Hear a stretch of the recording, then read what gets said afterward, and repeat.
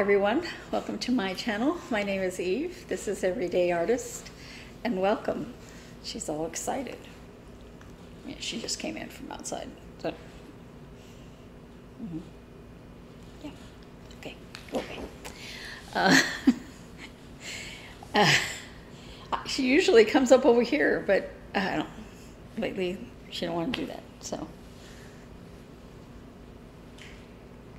anyway. Uh, it is already uh, July 9th. Wow. Not July. What is this month? September. and the month is zipping on by. Have I gotten my WIPGO done? No. Uh, because I, as you know, I can't count. So I am, this is Cross Stitching for Fun Art Deco Spring. And uh,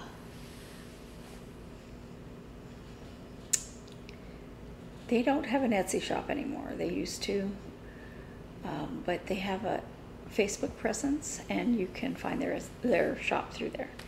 Anyway, I fell in love with the, they have all four seasons and I fell in love with them and I didn't realize how long they were going to take me to do. But it doesn't matter because I'm going to finish them eventually. So this is where I am on the spring. Now, I had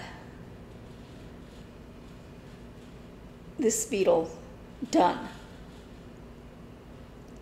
but I was fudging part of it because I realized after I did all of this color, all the way around, that it was one stitch too short. And I said, well, it's not going to matter. And I went ahead and finished it. And then I thought, okay, I can start this next one. I'm like, wait a minute. Then that'll put it in the wrong spot. I said, well, I'll start over here and see how it goes around like that. But I'm like, what, what if I don't make this one the same exact as that one? So I took all this out. So that means that this, so I took the whole thing out up to like here. I had the whole bug done with the exception of the back stitching. So this flower wasn't done when I started and this and this tiny little start on a bug that looks just like this. Um,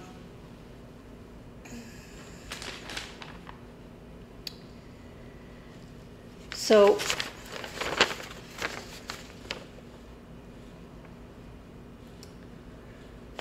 this is the bug that I did wrong. And you see the gap here? It's not horribly big, but it's bigger than over here. And I thought, oh, okay, I could just go like that. I just decided, you know what, I'm to take it out and do it right so that I don't have to worry about the curve being right. But I was annoyed with it, so I did a itty bitty tiny start on Cranes by Owl Forest Embroidery. And um, it is a very narrow pattern, but long. And it'll be the length of this. This is the front side, sorry.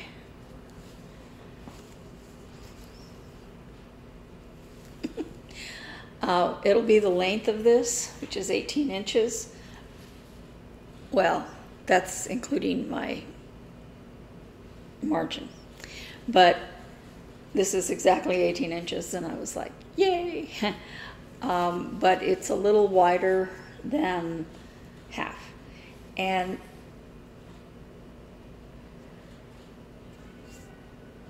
I don't have an iron. Uh, I want to sell this house so badly. Speaking of which, before I continue, I am doing this this late because Beth had an appointment this morning at 8:30 a.m. in downtown Phoenix, which it took mm, a little over half an hour to get there. And then I had to wait for her.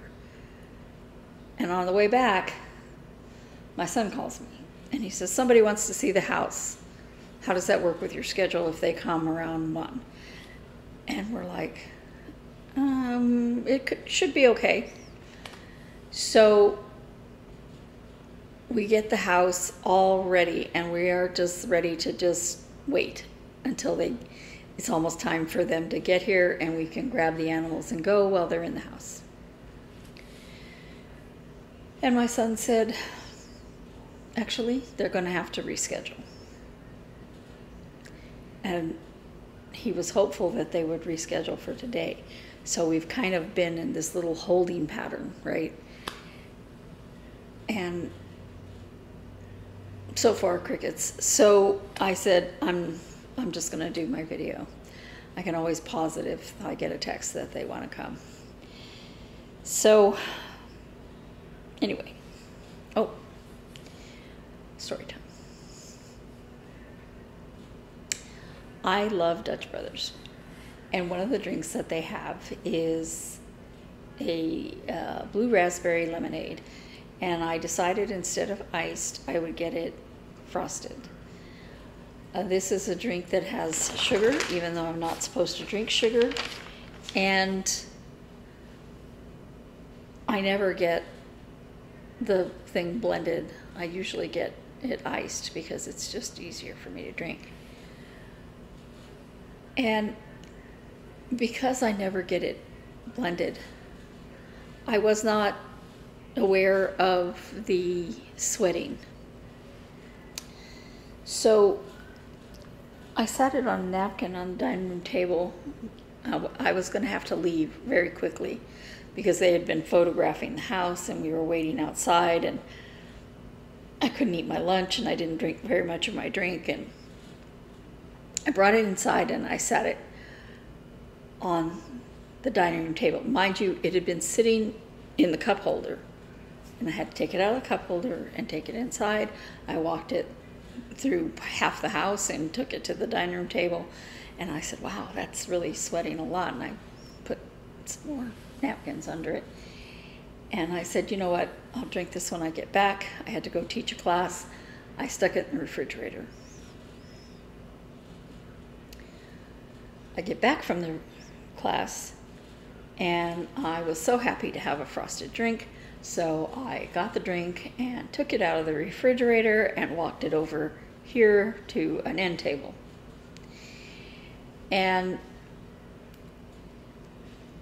I looked over there after a minute or two, and I have these cup holders that have a lip on them. And it was full. And it was leaking over onto the table, and I was like, that's not sweating. I said to my son, I think this cup has a leak. And he looked and he's like, it definitely has a leak. So I picked it up and walked it to the kitchen, which is just right here. Walked it over there, you know, like this, and uh, poured it into uh, a non uh, disposable cup and went about trying to clean up. There was a trail of sticky from the garage door over to the dining room table, from the dining room table over here to over to the refrigerator, from the refrigerator over here, and up onto the um, end table. And I said, "Oh no!" And I went and I looked in the refrigerator, and there was a lake, a lake of sticky, um, because, like I said, it's a sugary drink, and I'm trying to clean it up and trying to clean it up, and it was so liquidy that it was just very difficult. So finally, I get it um, get it cleaned up. The next day, I go out to the car and I look down and I can see that there's about this much liquid in my cup holder. Uh, Beth had an appointment I had to take her to, so I'm cleaning up the stuffing napkins in there and wiping it out, and um, finally got it all all cleaned up, cleaned up, and because I didn't have anything wet to clean up the sticky. I had an appointment later that day. I opened up my sunshade and it is stuck together. And I got it unstuck and I pulled it up there and I'm like, it'll be all right. It's all right. It keeps sticking to the to the dash, and I'm like, I guess I need a new one. so it has not been a, it has not been a week where I can just, you know, relax. And so right now I am so tired. and and I'm like I really want to stitch, but I don't think I can keep my eyes open. That was one of the reasons why that start is so little. I was all excited to start it and then I was just like I can't even see the holes. This is 25 count um,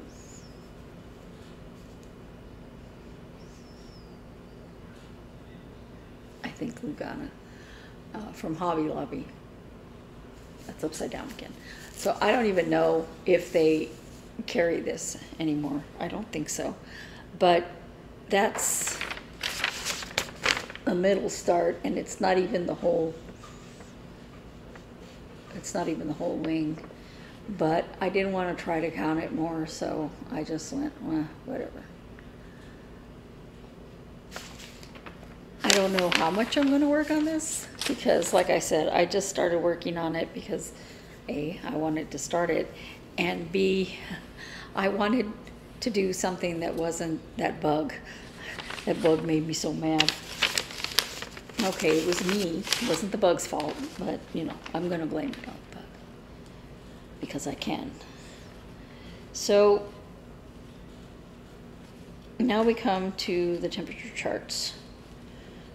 Okay, hold on. I'm trying to not have these fall everywhere in case they text me and I have to pick everything up quickly. Okay, so this is the 2023 temperature sal, and I'm working on the bottom part with the flowers. And I am almost all the way across. I am so pleased with the way this looks. Now I'm reluctant to go ahead and sew, sew, stitch all of the rest of the border, mostly because the color is the same color that I'm using for not the hottest color, but pretty much the hottest color um, for the turtles. I'm gonna have to go get another skein, I think, but that's okay because I need a color that's in the cranes. Um, so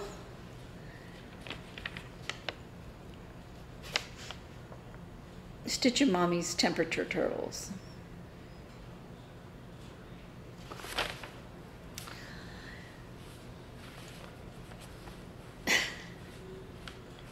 I thought it was cooling off. There was a day now on the chart that I use that has the temperatures for the day. It said it only got up to 115. I was driving home from somewhere and my phone said it was 119. Not the car, because that's usually hotter than what it actually is. My phone said it was 119. And I believe my phone because it was one of those, it was so hot in the car that by the time you get home, you are just dripping like you had been in a rainstorm. Um, so I had to use a color that was for hotter than 100, 110 114. Um, so this is the beginning of September, and it's hotter, It's redder than the end of August.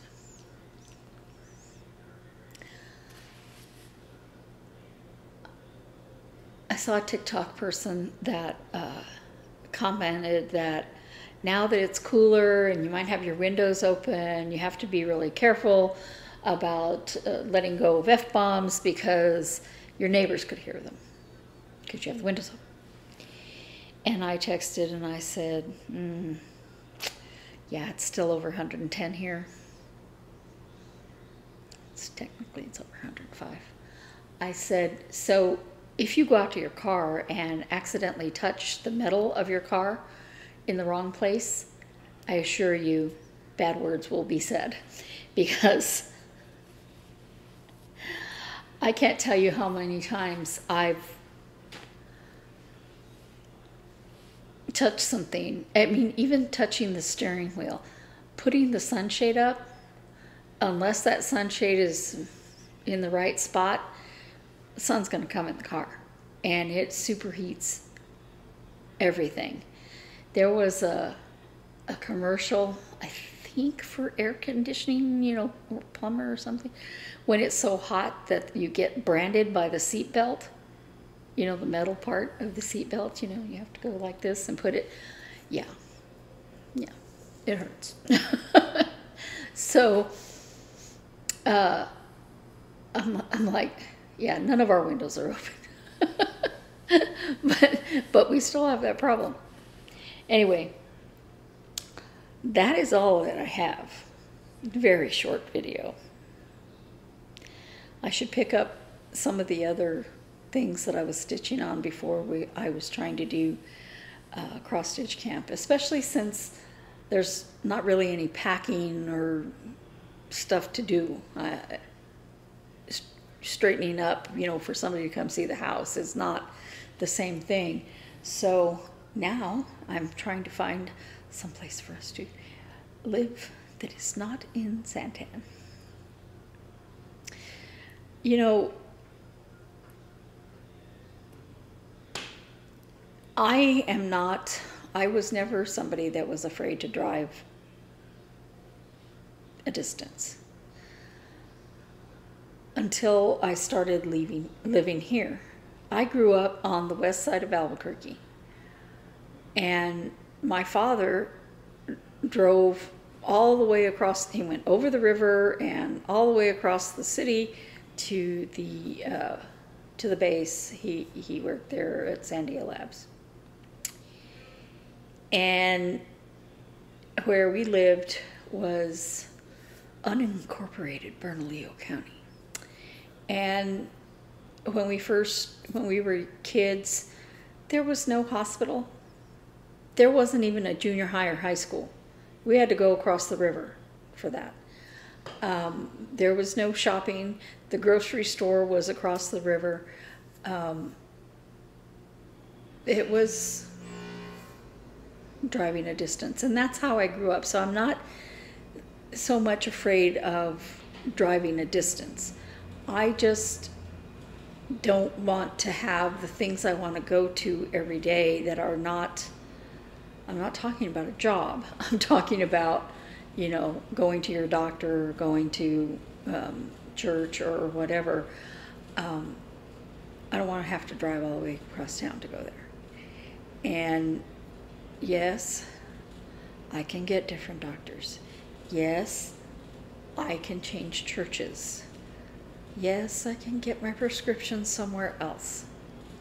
You know, I, I just, there's certain things that don't move and you can't get another one of.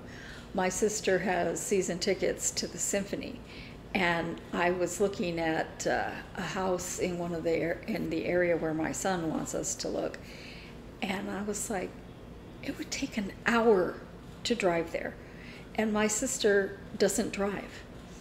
So the cost of an Uber for an hour would be astronomical.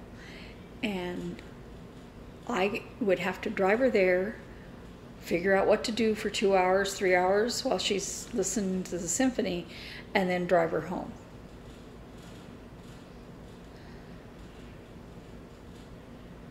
No. Uh, the, the other, that place is just too darn far.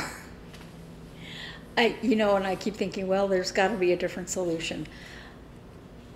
Nothing that is makes sense, you know. Um, driving to the symphony from here, it isn't particularly close, but it's not an hour. and so, so it's it's challenging, you know, because you get in your comfort zone and you're like, but I like it here. So, please pray that my mind will open up to different possibilities and to find some other way for my sister to be able to go to the things that she wants to go to um, where someone driving her is impractical. Anyway, uh, that is not about cross stitch. also, um, it was something. I don't know. I'm hoping you guys have a lot cooler summer than we're having, and uh, it's getting into fall and it still has summer, summer temperatures. Um, hopefully, uh, we will have lots of people viewing our house between now and the next time I speak to you all. Um, thanks for listening and happy stitching. Bye.